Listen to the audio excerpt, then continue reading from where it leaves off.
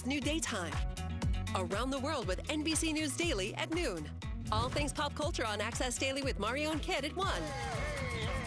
Jam with Kelly Clarkson at 2. I love this job. Local news and weather on NBC4 News at 3. Things definitely warmed up. And NBC Nightly News at 3.30. Bringing you the nation's top stories in the afternoon. NBC4's new daytime lineup. A magnitude 4.4 earthquake rattled parts of Santa Rosa tonight in Northern California. You can see the shaking from this person's living room camera. It also disrupted this high school volleyball game.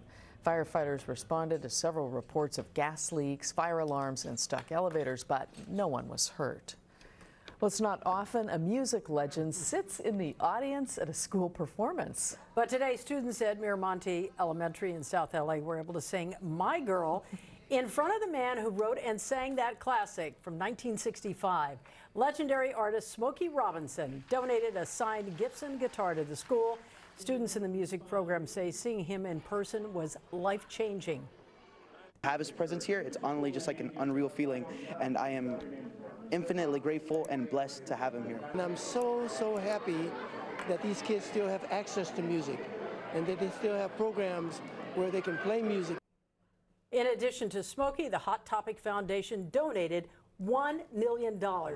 Awesome. Tonight's show is up next.